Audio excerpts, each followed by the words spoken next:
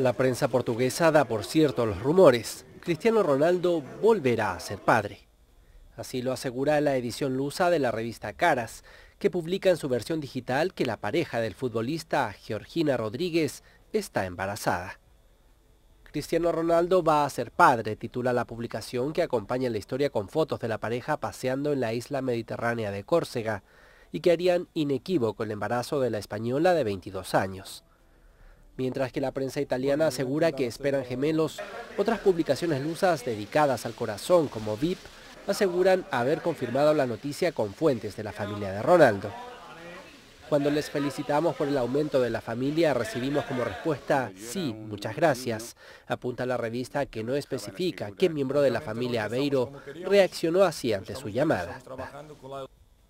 Los rumores de embarazo comenzaron después de que Cristiano Ronaldo publicara en Instagram la primera foto junto a su novia y en la que sus manos están sobre el vientre de ella. Días antes era la modelo la que publicaba una foto de la pareja que había asistido a un concierto.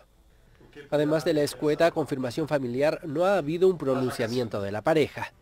Solo una respuesta de la agencia del jugador, que asegura que oficialmente no hay nada que decir.